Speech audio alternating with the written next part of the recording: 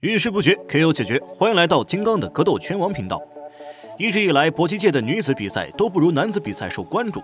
可是，一个人的出现改变了这个局面，让中国女子搏击事业也进入了公众的视野。她就是张伟丽。说起张伟丽，大家肯定不陌生。近些年来，在 UFC 擂台的战绩让世界知道了中国。不过，今天想跟大家说的是另一位中国女将龚艳丽。比起张伟丽来说，龚艳丽也是毫不逊色。当然，龚艳丽并没有张伟丽职业生涯来的那么励志。龚艳丽出身于武术世家，六岁开始习武，二零零三年改练散打。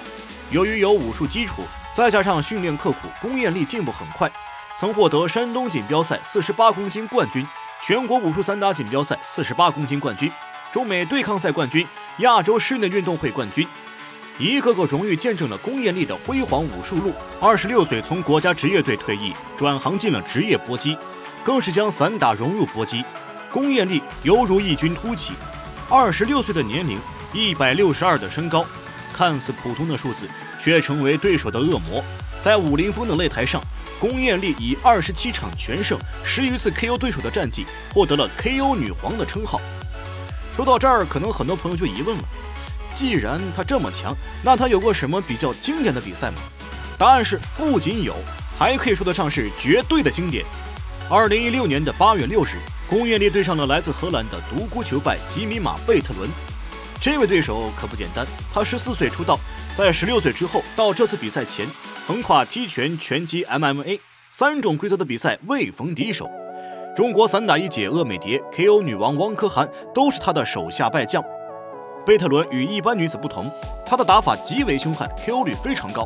一般选手在她的手上很少能撑过两个回合。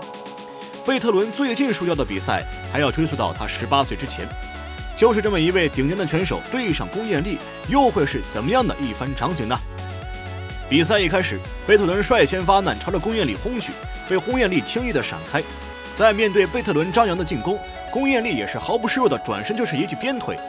双方一开场就是剑拔弩张，发挥出了自己绝对的实力。然而，贝特伦凭借其身高臂长的优势和犀利的拳法，很快压制住了龚艳丽的进攻。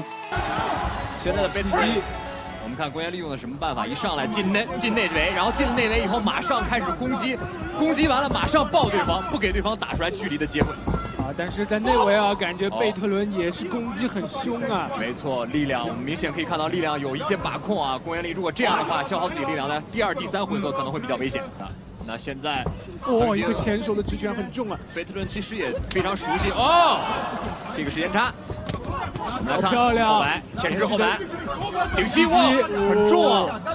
还好只能一下袭击啊。小心啊，高位侧踹腿。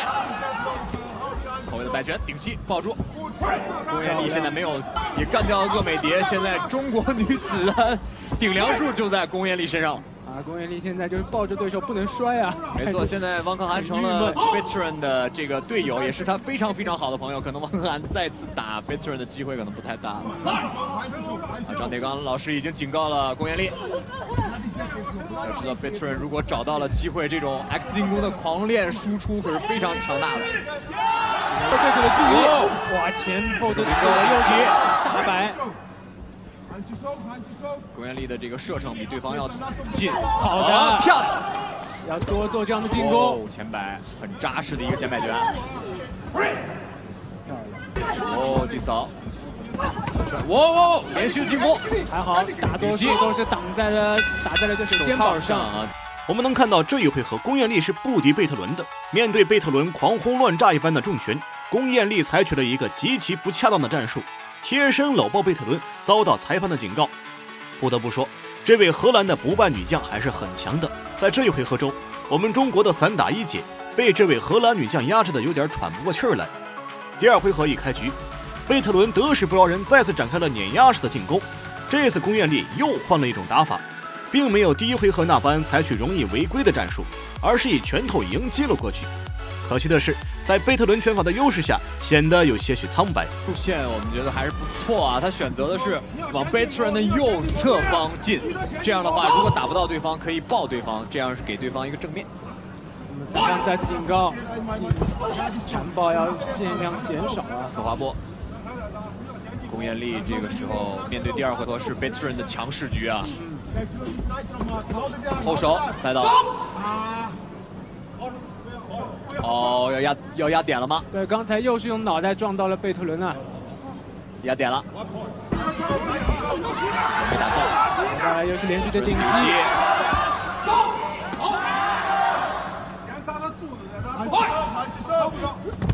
哦，低位打火打到了。哦，Veteran 连击前手的刺拳很快。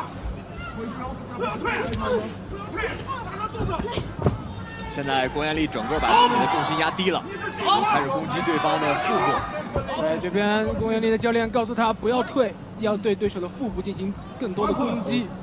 又扣了一分，又压了一点。的话被扣了两分呢。哦，扫踢，顶膝。维特不光是拳法很犀利，在出井以后的内围技术也是很丰富。好的，中招。严厉的后手摆拳没有打到，而且还拿到了三战全胜这样的一个。呃，另外他还打过 MMA 啊，还是在 Luna Rossi 的馆训练啊。好的，漂亮，左右互抡。还是被出了重击，又是袭击。两回合的比赛看到这儿，相信大家已经失望至极。龚艳丽始终是不敌这位独孤求败，不论是在拳法的进攻还是腿部力量上，都有着较大的差距。为了能够不被对方击中，甚至再次使用了搂抱战术，连续的搂抱遭到裁判的警告，并且扣分。场上的劣势以及被扣分的无奈，似乎龚艳丽败局已定。可是擂台上永远充满着无限可能。第三回合，贝特伦再次率先发起进攻，妄图彻底终结宫彦丽。可惜双方脑袋直接相撞了在一起，贝特伦直接被撞出了鼻血。处理伤势后，双方再次开启了比赛。在面对自己已经绝对劣势的情况下，龚彦丽反倒是没有了压力一般。第三回合开始了自己的反击。如果能出现 KO 的情况，龚彦丽才有可能翻盘。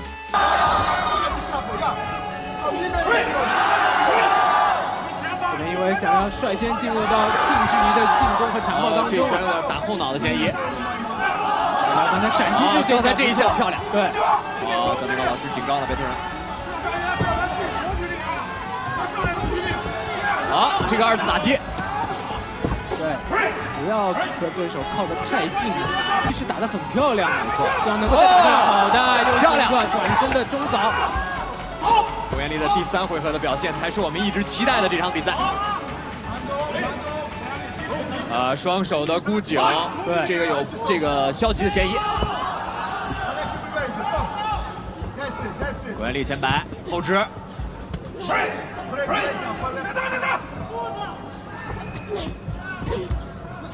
e a n 现在要找一些有效的进攻方法了。现在明显我们看到龚彦丽发挥出来了自己的一些动作。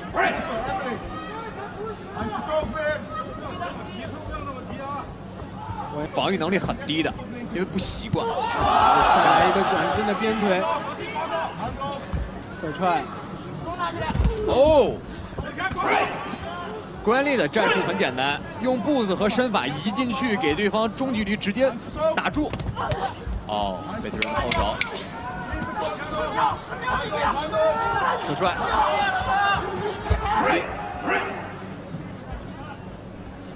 贝特人很擅长就是在。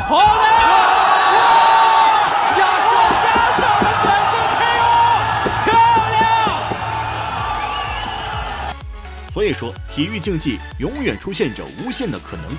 在长达三分钟的拉锯战，在比赛的结束铃声响起之时，龚艳丽看似一记随意的转身边拳，贝特伦直接倒地不起。用篮球场上的话来说，这就是压哨绝杀。最终，龚艳丽战胜了这位荷兰的不败拳王，用一个所有人都想不到的方式 KO 了对方。就连比赛的主持人郭晨东都流下了泪水。也正是因为龚艳丽这种不放弃的精神，才有这最后一秒的 KO 可能。奇迹就来自于大家的坚持，不是吗？不知道大家觉得这场比赛怎么样呢？欢迎在下方评论区留言评论。我是金刚，我们下期再见。